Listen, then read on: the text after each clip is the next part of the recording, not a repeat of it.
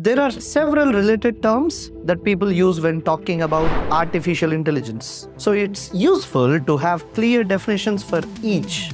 Today we are discussing data science, machine learning, and AI itself.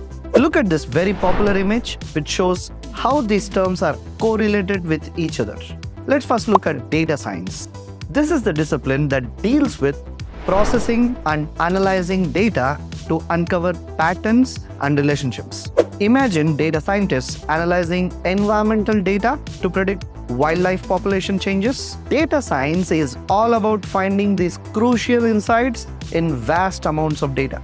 Next is machine learning, a subset of data science focused on predictive models. The keyword is predictive.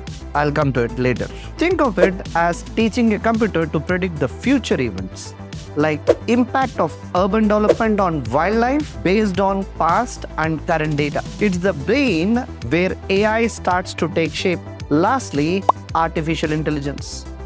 AI builds on machine learning, emulating human intelligence in software. For example, AI can observe vast natural areas using satellite images to track where endangered animals like tigers move and live. By studying this data, AI can spot patterns like where these animals go and dangers they face from people or weather changes. This helps wildlife protectors make smart early choices on how to help these animals using text accuracy and a deep understanding of animal life.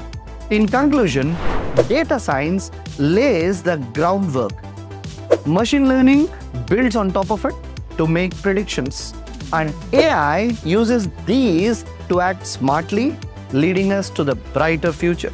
Let's keep discovering AI's possibilities. Join us by hitting the subscribe button as we continue to explore the depths of artificial intelligence. Thank you.